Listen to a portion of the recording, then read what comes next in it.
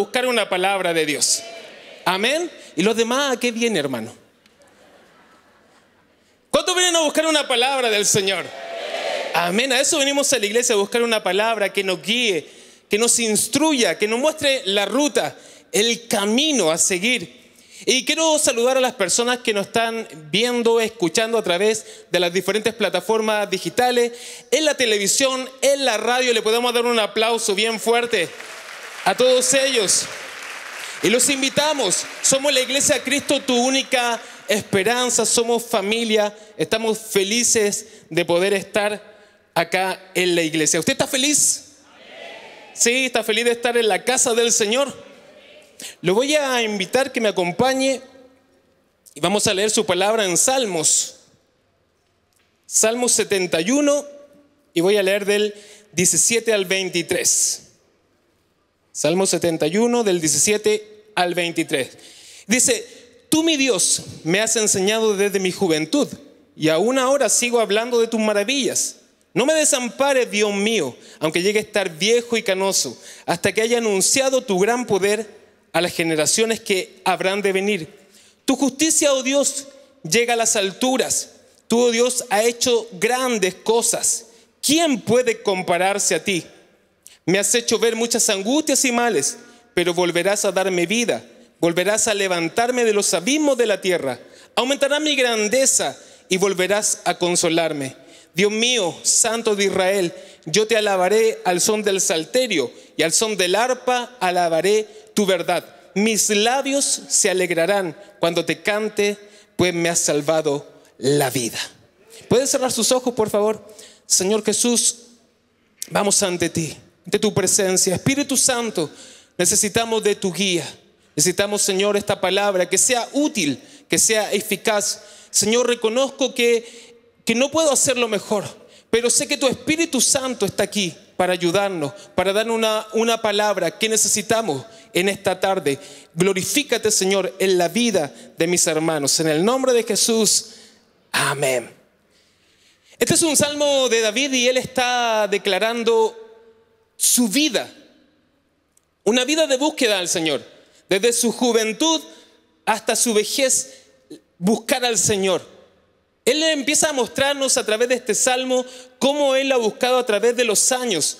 No un año, no dos años, no algunos meses en la iglesia, no algún tiempo buscando del Señor, sino que es una vida de búsqueda de Dios. Son décadas buscando la presencia del Señor, son décadas siguiendo sus instrucciones. Él nos muestra que desde la juventud ha estado buscando a Dios. Dice, tú mi Dios me has enseñado desde mi juventud y aún ahora sigo hablando de tus maravillas. ¿Sabe, hermano? Me encanta hablarle de las maravillas del Señor. ¿Sabe? Me encanta anunciarle que tenemos un Dios poderoso. Me encanta decirle que Dios hace grandes cosas con los hijos que le aman. Me encanta decirle que Dios es poderoso. Me encanta anunciarle la grandeza de Dios que no solamente están en los cielos, sino que también Él las trae aquí a la tierra. Me encanta decirle que Dios es extraordinario. Me encanta decirle eso, hermano. Y dice, no me desampare, Dios mío. ¿Y quién, cuántos pueden decirlo conmigo así? Aunque llegue a estar viejo y canoso. ¿Cuántos dicen amén? ¿Cuántos están canosos igual que yo? Yo veo a varios, ¿ah? hay varios canosos ahí. Pero no me desampare, Dios mío. He visto tus milagros. He visto tu provisión. He visto tu cuidado. Y es por eso que David lo puede decir con toda claridad. No me desampares, Señor. Aunque ahora esté viejo, aunque han pasado los años, aunque ha pasado la vida, Señor, no me desampares. ¿Cuántos pueden decirle en esta tarde, Señor, no me desampares? Me recuerdo que en la juventud, eh, como a los seis años, estaba eh, en un momento de mi vida, joven, chiquitito, un niño de seis años, y tuve que pasar por una operación. Me llevaron al hospital en ese tiempo y, estuve, me recuerdo que dos días en el hospital me, operaron de una eh, enfermedad que se llama criptorquidia. ¿Cuántos saben lo que significa criptorquidia? Me operaron de criptorquidia. ¿Quiere que le diga qué significa? Yo sé que a usted le gusta que yo les cuente algunas cosas. Criptorquidia significa que los testículos no están en su posición. Y a los seis años tuve que pasar por esa cirugía. Imagínense, yo, yo no sé si me recuerdo tan bien o solo son las historias que me han contado mis padres y que me iban diciendo cómo lo viví. Pero me recuerdo que cuando desperté me dolía todo el cuerpo. Me dolía por todo lado, ni se imagina cómo me dolía todo. Pero a la semana ya estaba en mi casa, un niño se recompone y está nuevamente con todo el ánimo. ¿Y sabe qué me pasó? Estaba en la iglesia, en la iglesia de ese, de ese entonces, de ese momento. Y en, ese, en esa iglesia se pedía la oportunidad. Eh, no sé si alguno estuvo en ese tipo de iglesia donde uno se anotaba y pasaba adelante y contaba su testimonio. A los seis años, mis papás no sabían que yo me había inscrito para contar mi testimonio. Y ya le conté de qué era mi testimonio, entonces no era tan, era difícil decir las palabras. Yo ahora se lo digo más abiertamente, pero antes la iglesia, imagínense decir testículo era eh, difícil. Y yo sé que algunos también me están mirando ahora así como, ¿qué está hablando este pastor? Pero era mi operación, por eso le, dije que se llama criptorquidia. ¿Ve que suena más bonito? A usted ya se aprendió ahora una nueva palabra. Yo fui operado de criptorquidia. Suena bonito. Entonces, bueno, me acuerdo que me anoté y en el momento cuando pasaban cada una de las personas a dar su testimonio, yo de seis años subí al altar, me puse a llorar una vez más. Eh, no sé si me gusta llorar, pero es, es algo que hago normalmente. Me puse a llorar y le di gracias al Señor porque había salido bien la operación y estaba completamente sano y ya estaba en mi casa todo bien. Le di gracias al Señor a los seis años. ¿Sabe qué pasaron los 16 años, los 26 años, los 36 años? No tengo 46, tengo 43. Y ahora a los 43 años le doy gracias al Señor porque he visto sus maravillas.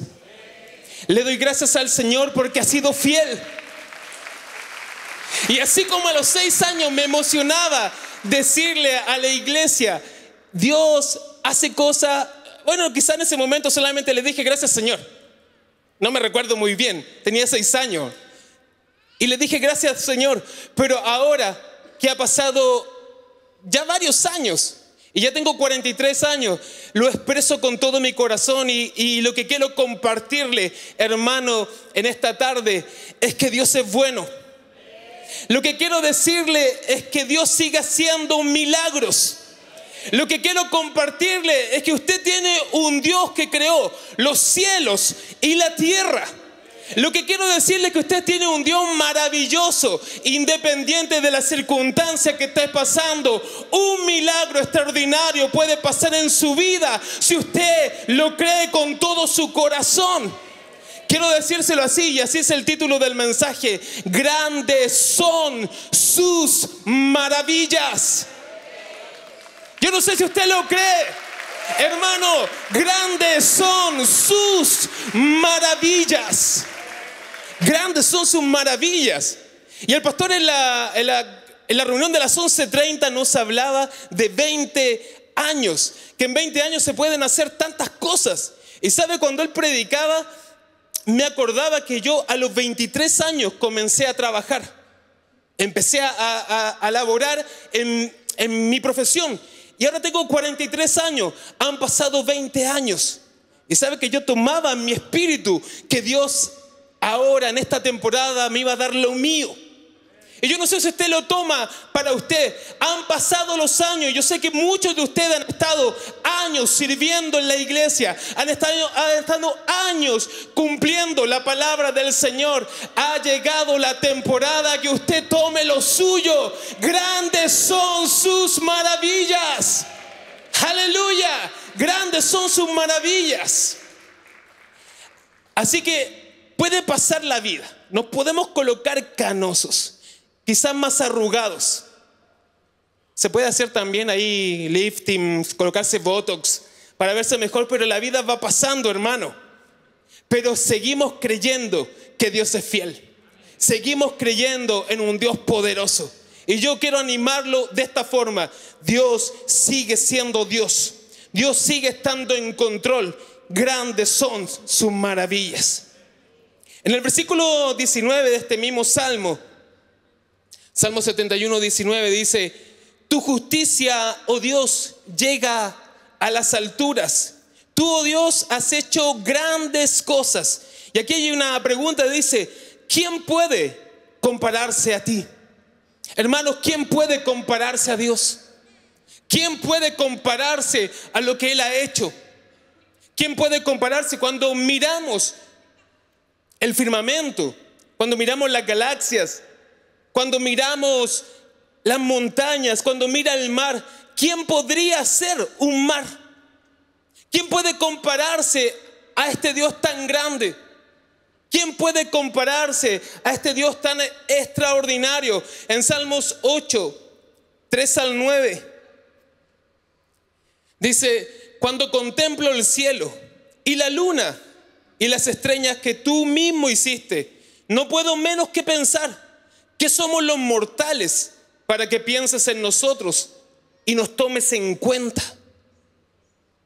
¿Qué es la raza humana? Dice otra versión ¿Qué es el ser humano? Cuando pienso en la grandeza de mi Dios, cuando pienso en este Dios que, que está fuera del tiempo, de los límites del tiempo, que está más allá de la ciencia, que está más allá de la filosofía, que está más allá de cualquier estudio que podamos hacer. Cuando pienso en mi Dios, cuando pienso y cuando veo sus obras, hechas por sus dedos, cuando veo la magnificencia de las obras creadas por mi Dios, digo, ¿quién soy yo para compararme a ti? Cuando pienso que yo soy solamente un ser humano y veo a un Dios tan grande, como David en esa, en esa reflexión que hacía y que miraba, igual que usted, igual que yo, el cielo, el mar, a mí me encanta mirar la montaña, me encanta mirar la creación de Dios. Y veo cuán grande es Él a través de sus obras que ha hecho para que nosotros, sus hijos, las disfrutemos aquí en esta tierra. Qué hermoso pasar un tiempo en la montaña. Qué hermoso ir al mar. ¿A cuánto le gusta ir al mar? A bañarse en el mar. A mí no me gusta tanto. La arena, no sé, tengo ahí mis, mis Tengo, tengo tic y tengo varios toc. Pero la grandeza del Señor, disfrutar de las maravillas del Señor. Y digo, ¿quién es el hombre? ¿Quién soy yo? ¿Quién es usted? Pero ¿sabe qué dice? En el versículo 5, nos creaste casi igual a ti, nos trataste como a reyes nos diste plena autoridad sobre todo lo que hiciste. Nos diste dominio sobre toda tu creación, sobre ovejas y vacas, sobre animales salvajes, sobre aves y peces, sobre todo lo que se mueve en lo profundo del mar. Nuestro Dios y nuestro Rey, cuán grande eres en toda la tierra. Aleluya. Si se lo va a dar al Señor, déselo bien fuerte. Cuán grande eres, Señor, en toda la tierra. Y sabe que veo en esta reflexión de David, porque David ve lo asombroso que es Dios, ve lo extraordinario que es nuestro Dios, ve las maravillas que él ha hecho. Y él dice, y hace, y hace esta reflexión, yo, yo pienso que él hace este pensamiento y dice, ah, pero ¿qué, ¿qué podría hacer yo delante de Dios? ¿Qué, voy a hacer yo delante de este Dios tan grande, de este Dios tan poderoso? Pero ¿sabe qué se le revela a David? Que Dios te dio autoridad y que Dios te dio dominio. ¿Y sabe sobre qué? Te dio autoridad sobre la tierra, donde pisare la planta de tus pies. Dios te da autoridad, hermano. Y a, veces en, en, esta reflexión y que nos vemos tan pequeños, nos vemos tan chicos, es verdad, delante de este Dios tan grande podemos ser criaturas quizás insignificantes, pero para Dios tú vales mucho. Pero para Dios tú eres hechura de su mano. Para Dios tú eres real sacerdocio. Te ha hecho rey y te ha hecho sacerdote para tener autoridad en esta tierra. Porque yo sé que, que es más fácil entender que Dios es grande porque Dios es grande. Porque Dios es soberano, porque Él es extraordinario, porque Él tiene el control. Pero tú también tienes que entender que Él quiso darte autoridad. Que Él lo quiso hacer. Y, no puede toda la vida decir es que no valgo nada. Pero si Él pagó precio de sangre en la cruz por ti, por tu alma, por tu vida. Y Él dijo, quiero darte una vida plena y abundante. Él lo quiso hacer. A Dios se le ocurrió, al Dios que hizo los cielos, al Dios que hizo este mar extraordinario, a Él se le ocurrió darte autoridad. Puede decir autoridad. Puede colocar la imagen, por favor. Dios nos da autoridad y Dios también nos da dominio. Hermano, Dios te ha dado estas cualidades, estas características, para que puedas en esta vida ver esas grandes maravillas. ¿Cuántos quieren ver grandes cosas? ¿Cuántos quieren ver maravillas en su vida? Sí, usted lo quiere. Dios te ha dado autoridad, hermano. Dios te ha dado dominio sobre las cosas, autoridad en tu trabajo. El Espíritu Santo te guía. El Espíritu Santo es el que te da la ruta. Pero me encanta porque el Espíritu Santo nos da sabiduría, nos da ciencia, nos da conocimiento. Entonces cuando estás en tu trabajo tienes autoridad para resolver problemas difíciles. Cuando haya un problema difícil en la oficina que nadie lo pueda resolver, diga, aquí estoy para resolver esos problemas. ¿Sabes por qué lo puede resolver? Porque el Espíritu Santo está en ti y te da sabiduría y te da conocimiento y te empieza a, expandir tu mente y a decir, pero ¿cómo puedes saber esto? Porque Dios está en ti y las cosas que no has visto, que no han oído, que no han llegado, eh, son las que están preparadas para los hijos que lo buscan, que le aman. Dios te quiere revelar secretos extraordinarios para que puedas ver las maravillas de Dios aquí en esta tierra. Hermano, grandes son sus maravillas. Grandes son sus maravillas. Yo te quiero animar para que tú lo creas y para que diga, ah, pero es que me levanto el lunes, me levanto el martes, me levanto el miércoles y la rutina a veces nos mata. Tienes autoridad, hermano. Hermanos, tienes autoridad sobre el trabajo que Dios te ha dado. No tiene que ser algo que te frustre trabajar. Y el pastor lo decía en la mañana, tiene que ser algo que sea que te haga feliz, que lo disfrutes. Veía una entrevista de, Lionel Messi hace unos días y él decía, disfruto lo que hago, disfruto mi trabajo, disfruto lo que el don que se me dio para poder desarrollarlo. ¿Y sabes qué? Dios también te ha dado un don a ti. Hermano, Dios te ha dado un don particular a ti. Yo me recuerdo que cuando escuchaba este mensaje a los 20 años y me decía, Dios me ha dado un don particular, yo decía, lo quiero. Lo quiero, lo quiero desarrollar. ¿Y sabes qué empecé a hacer? A desarrollar el don particular que Dios me había dado. Y eso me llevó a que me subieran de posición. La vida no se acaba en una sola posición, hermano. No te frustres donde estás ahora, porque Dios te quiere llevar más alto. Ni lo que piensa, ni lo que imagina. Dios es más grande. Hermano, déjame decírtelo de nuevo y te lo voy a gritar. Grandes son sus maravillas, hermano, para tu vida. Si usted lo cree, tómelo con todo su corazón. Grandes son sus maravillas. Así que usted tiene, dígalo, autoridad y dominio.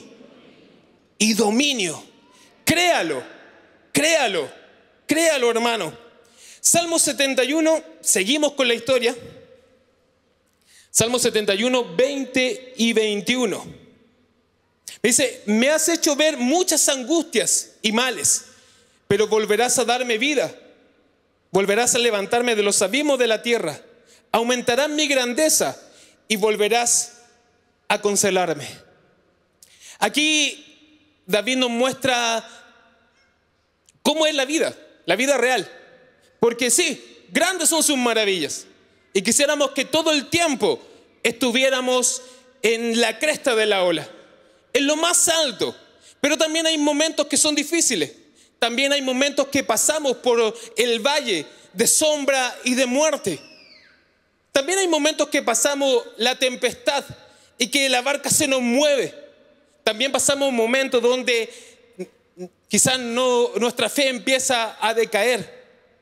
Hay momentos en la vida donde la angustia, donde la depresión, donde las cosas difíciles nos empiezan a atormentar nuestra vida. Y así como David decía, grandes son tus maravillas, también entendía que había momentos de dificultad, también entendía que había momentos difíciles que afrontar. Y, cuando estaba preparando el mensaje, eh, hace, hace algunas semanas tuvimos la oportunidad de hacer un viaje y, estuvimos en, eh, en una ciudad donde el Espíritu Santo me hablaba tan claramente de los periodos difíciles. Me hablaba tan claramente de que también hay temporadas que, que, uno no quisiera pasar, pero que son parte de nuestra vida, son parte del vivir. Y quiero leerte en Filipenses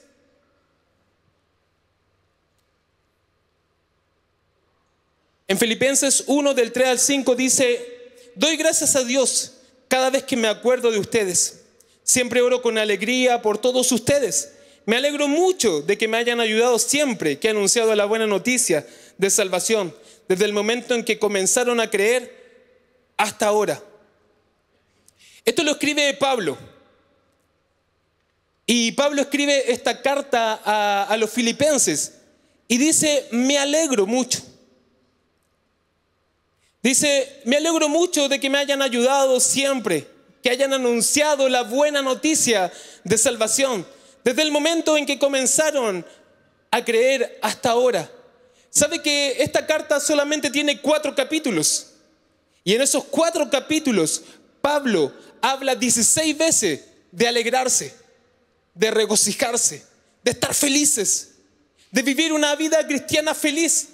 Y él en cada capítulo habla del gozo de Dios, habla del gozo de la salvación, habla de estar felices.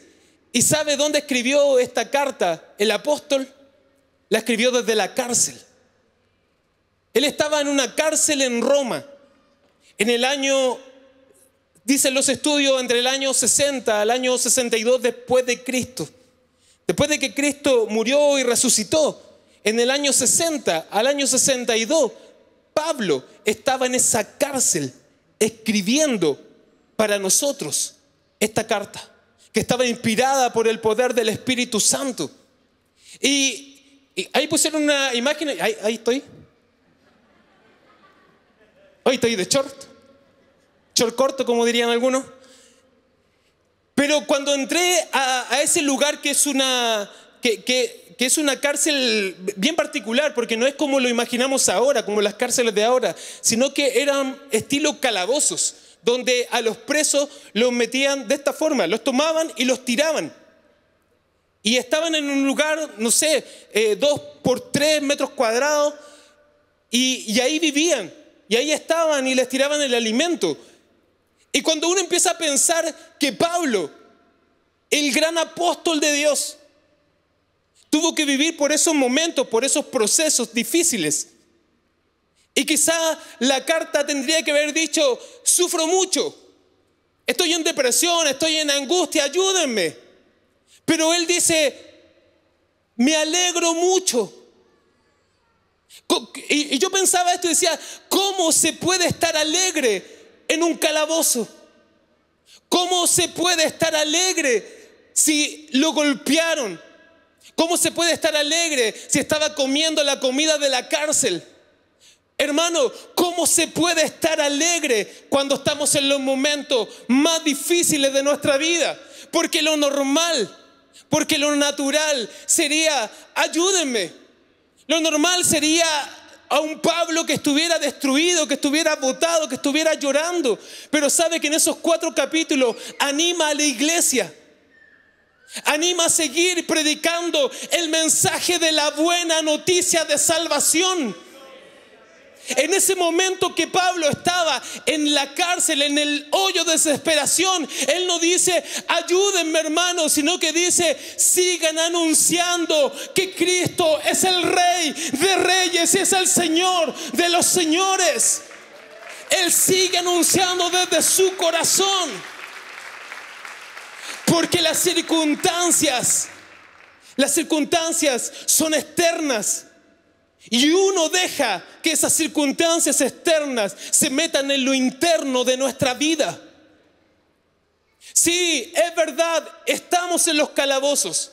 Sí, es verdad, estás viviendo temporadas difíciles. Sí, es verdad, pero no dejes que esa realidad se meta en tu vida interna. Cristo está en ti. Cristo vive en ti. Y Él crece cuando nosotros morimos. Y Él sigue creciendo en nosotros cuando nosotros seguimos muriendo. Y como veo el ejemplo de Pablo ahí, estando en la cárcel, estando en el momento de angustia. Aquí ninguno está en la cárcel porque está en la casa de Dios. Y si estás viviendo una temporada difícil, un momento que, que, te golpea la vida, no dejes que las cosas externas se metan en tu vida interna que está pegada. Mi alma está pegada a ti, Señor. Me sostiene tu Espíritu Santo. Porque mi vida está fundamentada en lo que creo de mi Cristo.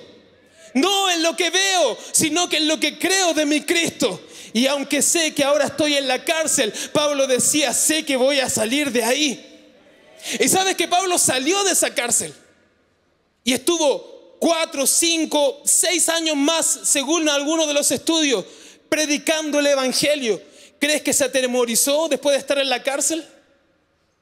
¿Crees que él dijo, no, hasta aquí nomás, hasta aquí sigo a Cristo? Esto está muy difícil. Ya me golpearon, me han lacerado varias veces. Hasta aquí nomás llego en el Evangelio. Él siguió, sale de la cárcel y sigue fundando iglesia para que se siga expandiendo la palabra de Dios aquí en esta tierra. Y ahora hay tantas iglesias en el mundo, pero partieron poquitas. Desde lo poco se puede hacer mucho. Desde la nada pueden haber muchas cosas. Y 16 veces. Me gustaría que se grabe ese número. 16 veces en esta carta Pablo dice, alégrate. Dice, gózate. Wow, ¿cómo me puedo alegrar si paso pruebas? ¿Cómo se puede estar alegre si estoy viviendo en la desesperación? ¿Cómo se puede estar alegre? A pesar de estar en prisión, Pablo seguía haciendo un impacto en el reino de Dios. Pudo predicar el Evangelio. ¿Sabe a quién? A los guardias que estaban ahí. Los mismos que lo encarcelaban, él les predicaba de Cristo. Y a otros prisioneros, él le hablaba del amor del Señor. Y a veces cuando estamos en nuestra desesperación, nos encerramos tanto en lo que nos está pasando y no vemos que hay otras personas que necesitan que tú les entregues el mensaje. Yo me recuerdo que cuando estábamos viviendo nuestra temporada quizás más difícil que hemos vivido como matrimonio con mi esposa, y me recuerdo que cuando nuestro hijo estaba en la neo y nos juntábamos con otras personas que estaban en la neo, nuestro hijo era el más pequeño de todos, era el que tenía la menor probabilidad de vida. En ese momento era nuestro hijo. Pero yo, me, yo veía a mi esposa, llegábamos al aneo, habían otros papás y, nos miraban y nos decían, y le decían a mi esposa, ¿qué droga estás tomando? ¿Qué pastillas te estás tomando? ¿Por qué estás feliz si tu hijo está ahí con todos los cables y está y puede morir en cualquier momento? ¿Qué te estás tomando? Y en ese momento yo veía a mi esposa que le decía, es que creemos en Cristo y le hablaba a otras personas que no conocíamos y le hablábamos de Jesús. Estábamos en el momento de la temporada oscura, pero tienen la posibilidad de seguir llevando el mensaje de salvación para otras personas. Aunque estés en la temporada más difícil, tu vida sigue siendo de influencia. Hermano, aunque estés en el hoyo, tú sigues siendo hijo de Dios. Aleluya. Y, era tan extraordinario. Porque, porque estar, estar en, en la cima y estar en lo alto y hablar de la grandeza de Dios, uno lo disfruta también. Pero cuando uno está en ese momento difícil y decir, Dios es grande. Wow, la gente queda como, ¿cómo, cómo Dios es grande si está aquí viviendo el mismo problema que yo? Pero es que yo sé que vamos a salir de esta situación. ¿Por qué yo sé que voy a salir de esta situación? Porque tengo un Dios soberano que está en control de todas las cosas. Hermano, a Dios no se le ha perdido el control. Él sigue estando en control y Él a su debido tiempo va a hacer grandes maravillas en tu vida, hermano. Aleluya. Aleluya. Pablo sabía que los filipenses estaban orando por Él y le estaban apoyando en su encarcelamiento. Somos familia. Nos ayudamos los unos a los otros. Oramos los unos por los otros. Y es por eso que el martes vamos a hacer el ungimiento con aceite, donde oramos los unos por los otros. Somos familia. Nos importa. Hermano, nos importa su vida. Nos importa cómo está. Oramos por ustedes. Nos importa. Porque somos personas que nos ayudamos. Dios nos puso en comunidad. Nos puso en esta iglesia. Dios te trajo, hermano. No, no, tú no escogiste esto. Dios te trajo. Dios te escogió desde el vientre de tu madre. Dios te escogió, te miró y dijo, tú eres mi hijo. Hechura hermosa. Algunos nomás dijeron gloria a Dios. Pero créaselo, hermano, usted es una maravilla de Dios. Usted, dígale a su hermano que está al lado, usted es una maravilla.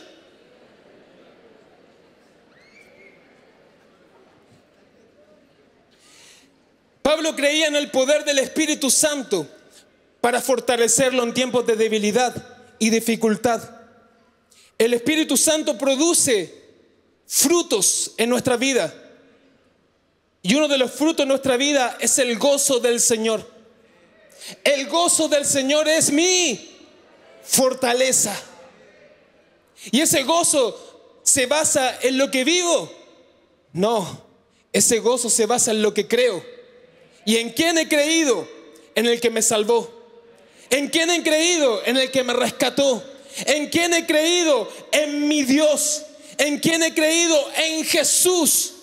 En Él, en Cristo, hermano. Pablo tenía una relación profunda con Jesucristo. Creía firmemente en la obra redentora de Cristo y en la esperanza de la vida eterna.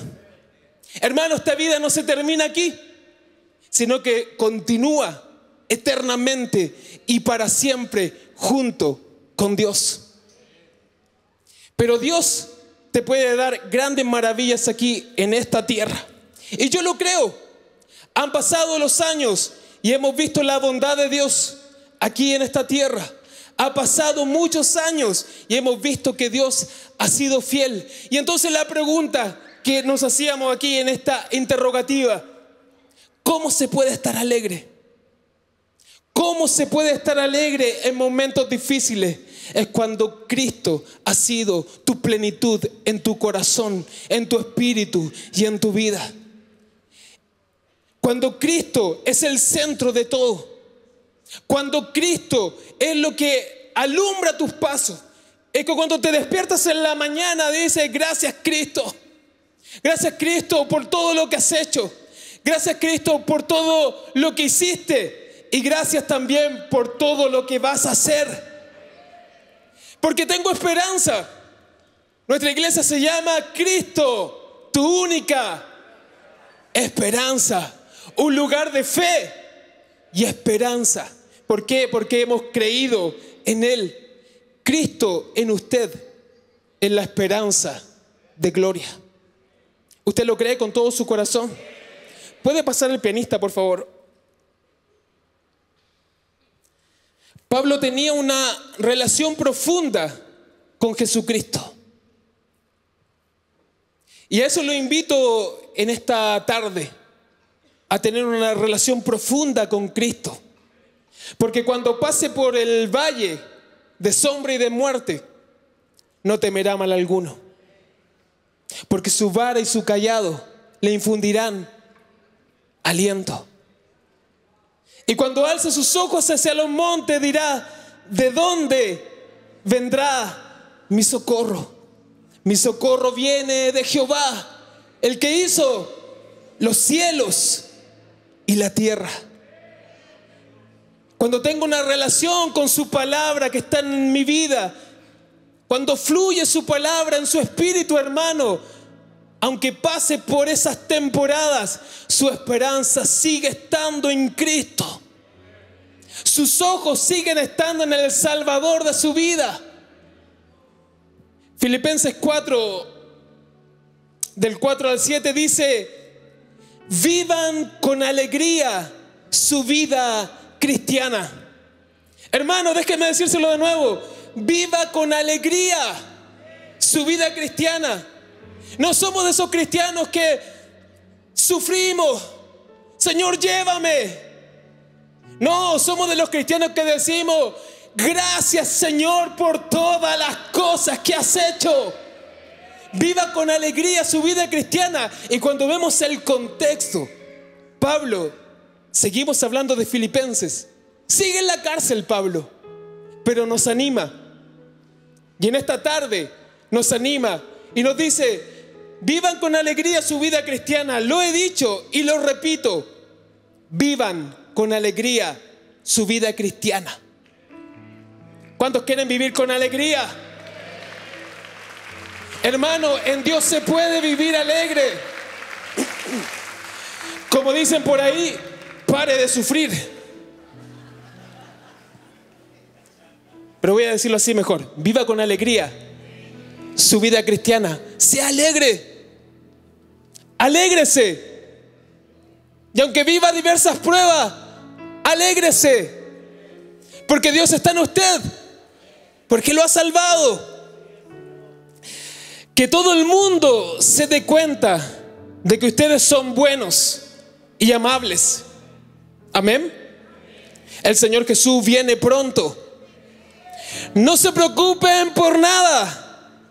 Más bien oren y pídanle a Dios todo, todo lo que necesiten.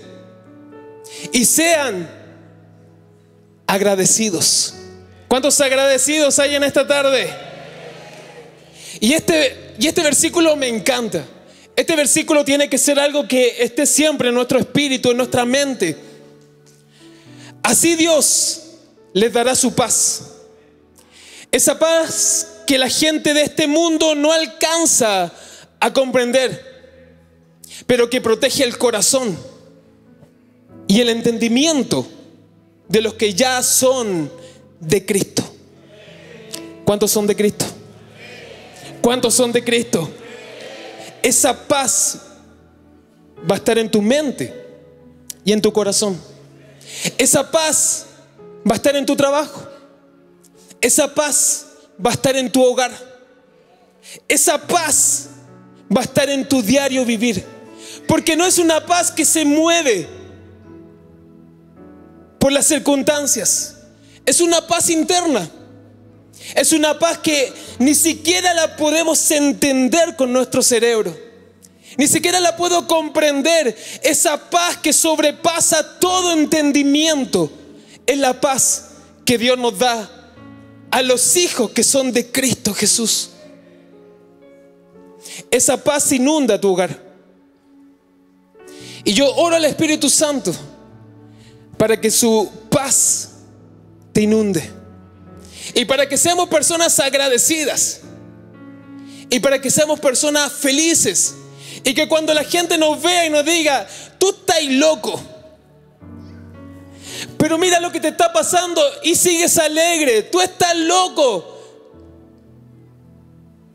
No importa lo que digan, no se alcanza a entender. Pero sigo estando feliz. Sigo estando pleno.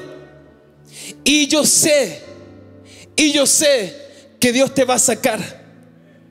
a abundancia, a prosperidad, a una vida plena. Jesús lo dijo así. El diablo vino a matar, a robar y a destruir. Pero yo he venido para darles una vida plena y abundante. Ese es Jesús. Ese es mi Dios.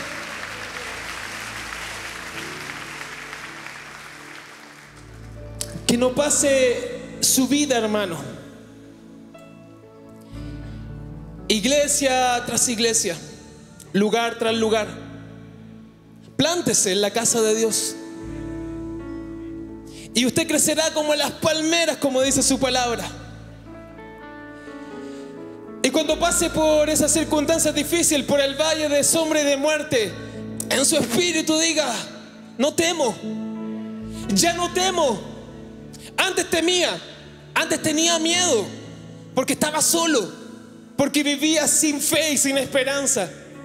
Pero ahora estoy con Cristo. Pero ahora sus ángeles me cuidan, me cubren. Pero ahora su Espíritu Santo guía mi caminar.